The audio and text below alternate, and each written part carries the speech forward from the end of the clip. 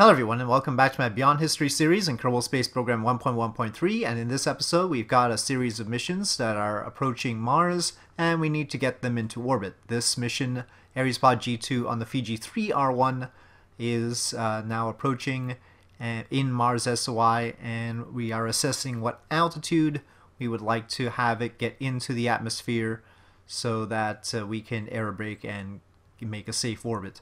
Uh, Mars Base 1 could land directly. I don't really want this Ares pod to land directly. I would like it to get into orbit and then we'll decide what to do with it after that.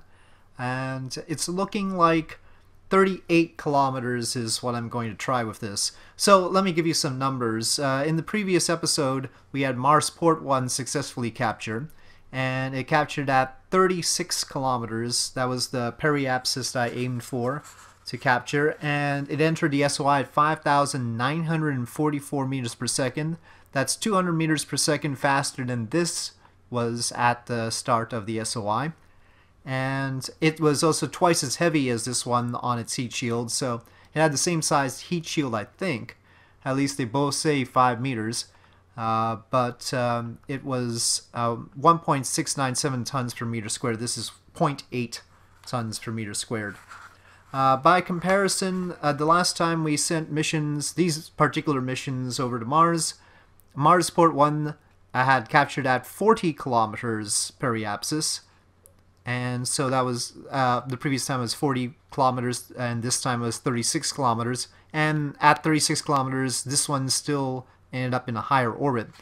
Uh, Ares Pod G previously captured at 42 kilometers, so if you go by the same logic, it should be 4 kilometers down, therefore 38 kilometers.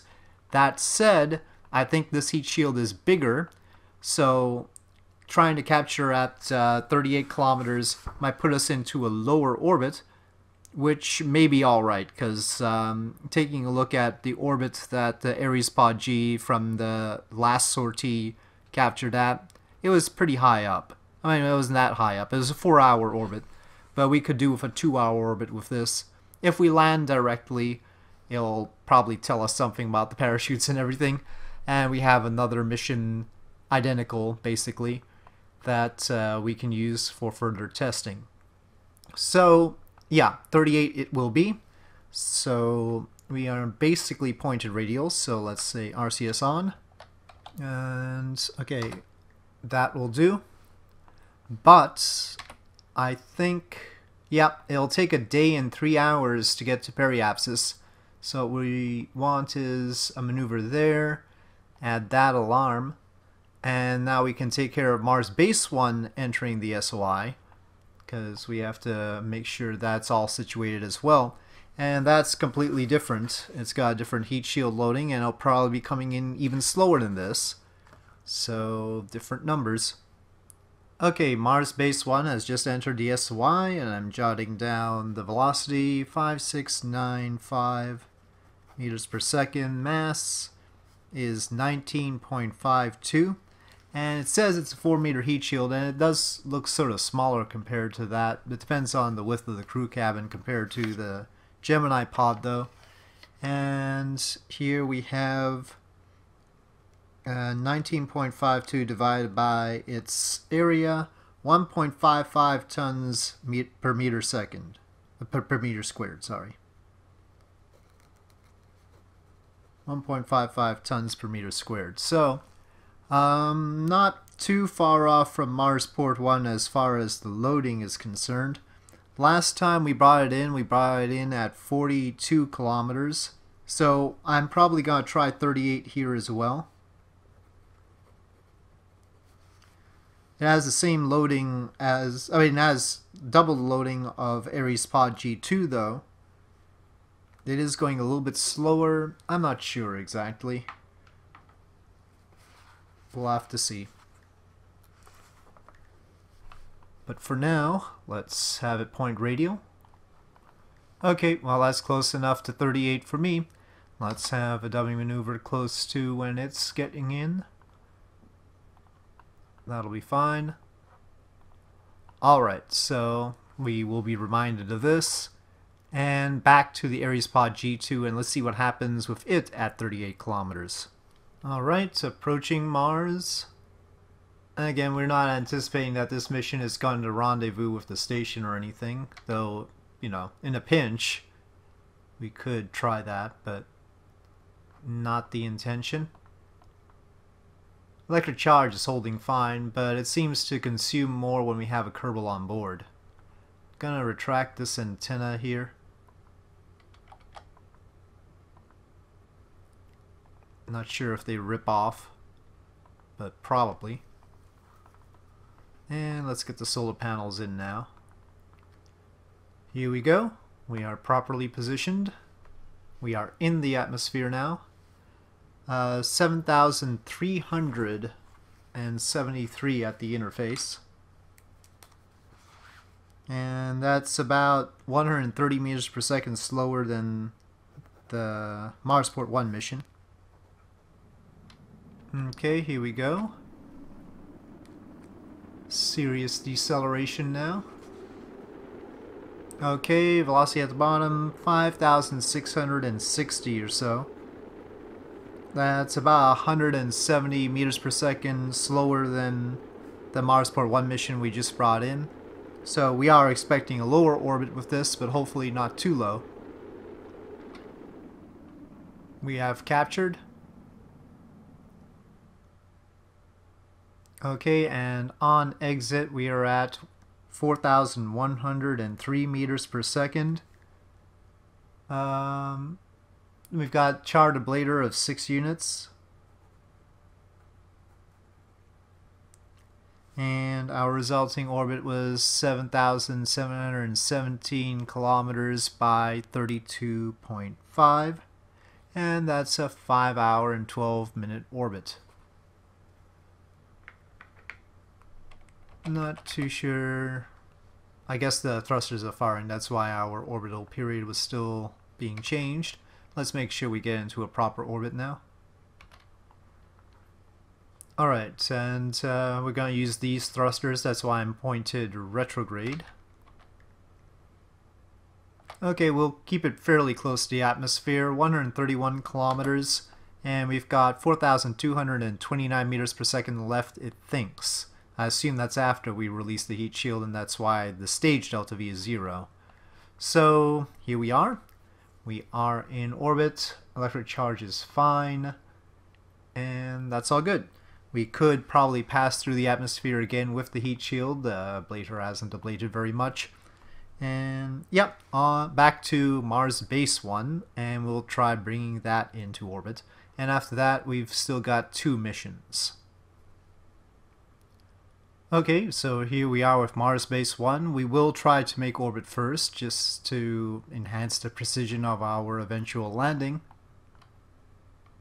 With an inclination of 32 degrees, we do have choices as far as where to land, but not an infinite number of choices, not anywhere on the surface. Okay, well, we have to knock this part off, unfortunately. And once again, we didn't get much use out of it, but you never know. Better to have it than not. And I don't think our launch was particularly overburdened. I've already topped off the fuel up here, so...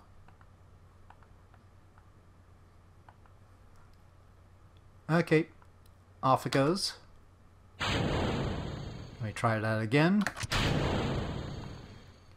Ah, while that throws off my calculations, the mass is actually only 15 tons, not 19 tons, because I was adding in that module we just kicked off.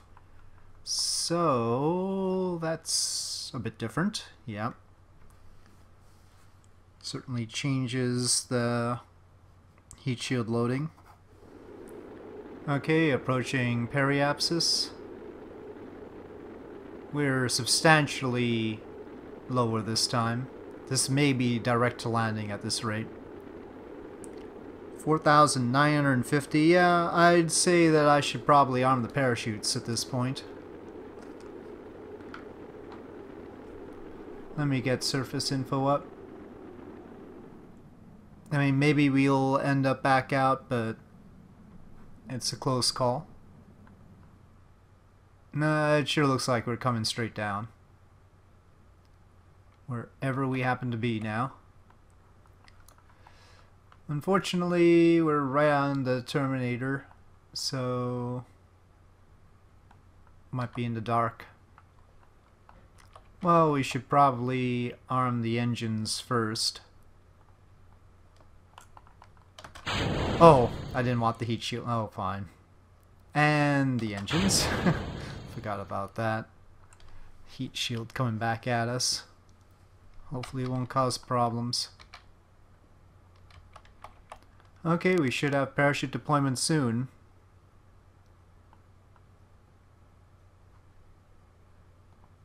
Drogue chutes appear to hold.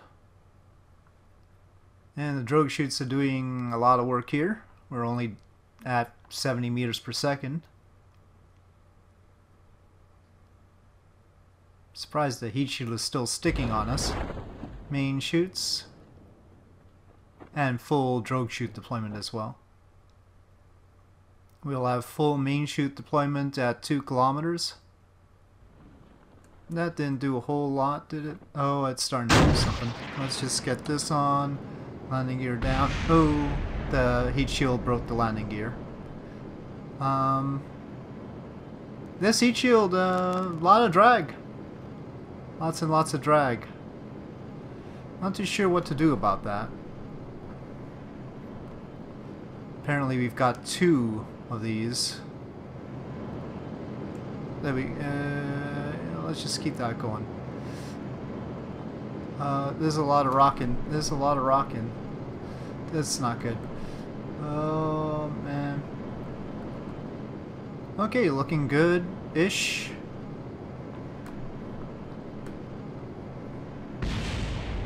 Impact recorded. I didn't realize we had an accelerometer to record an impact, but okay. Okay, I better not follow the retrograde vector too much. Okay. We are on the surface. It is a base. It's in the dark though, so that's not great, but once it gets to be daylight around here, it'll be able to replenish its batteries. Really should have put more batteries so it could survive the nighttime side properly. But um, at some point, we'll just use a connector port like this to plug it into a more powerful generator like a nuclear generator. If we can land stuff close to it. But a base has been landed on Mars. So yay. And um, we did it semi-properly this time except for two landing struts broke because of the heat shield that really, really likes to stick to us. It's really impressive. Okay, let's turn those off. And there it is, Mars Base 1. Alright. Okay, well it looks like I was mistaken about the situation with this mission. It's doing a 32 meter per second correction and uh, that is going to help us get much closer to Mars because right now we're approaching at 315,000 kilometers, which is pretty far away. And so, but that arrival is going to occur in 185 days, so that's after all of the other business we need to attend to. And probably at a very different altitude than everything else we've done. Of course, this is the combined mission, if you recall. And, uh, it's got its own peculiar sort of situation going. So I'll time warp to this node and take care of this 32 meter per second burn, hopefully using the fuel in here. Hopefully that'll be enough. And uh, yeah, I mean overall we're lacking in fuel all over the place here. Well, that at least is topped off. So the situation could be worse. Okay, we are in the process of handling this correction. And let's see what's happening at Mars. It's a crash course. That's not a crash course. Okay. So that's pretty good. And let us make a... Well, we'll we can just have the SOI change. 184 days. So it'll be a while. This uh, crazy situation has got a ways to go. And that leaves us with the Aero NTO depot approaching a node in 9 days. I don't know if that is a dummy node or an actual maneuver. Well, it is an actual maneuver, but it is a maneuver within Mars SOI. So we are going to bring this into orbit. It's going to use its own power. Uh, says Ares Pod A's water is running out. Um, that's probably just because of its large space for water. Let's just check. Uh, yeah, 93 days. It's going to be arriving in 23 days, so it's just because it can contain 930 days of water that it's giving us this warning because it's down to 10%. And presumably it'll soon give us the oxygen warning as well. So yeah, okay, well that's expected, though annoying.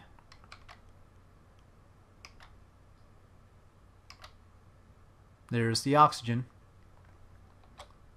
Well, we need to pull our periapsis further away from Mars than that. Interesting correction that corrected our inclination, but didn't take that into consideration. We in fact need to be outside of the atmosphere because we are going to be capturing with our engine. So that'll do. There's Mars, let us approach. It's gonna take some time to do this burn. How long until periapsis? 13 minutes.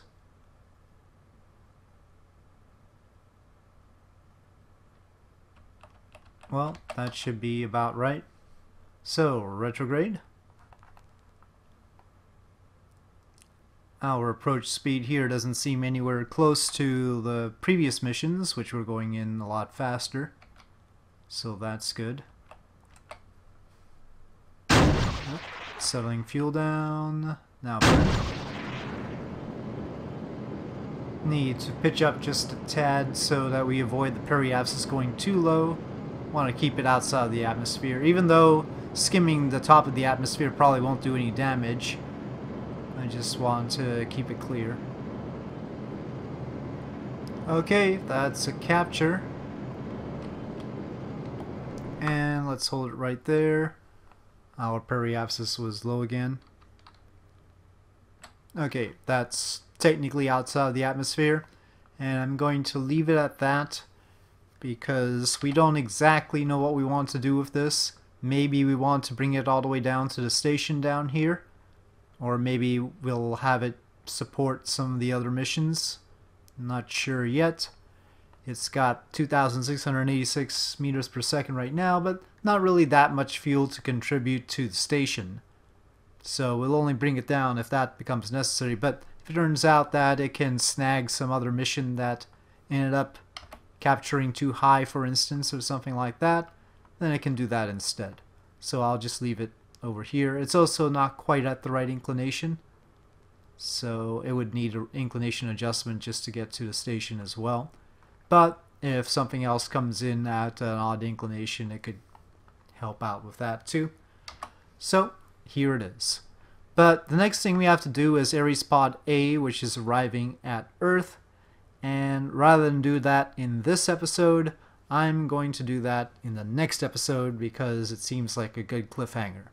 So, on that note, and with these missions all set, I'll say thank you for watching. I hope you enjoyed this video. If you did enjoy this video, please do press like. If you have any comments or suggestions, please leave them in the comment section below, and I'll see you next time.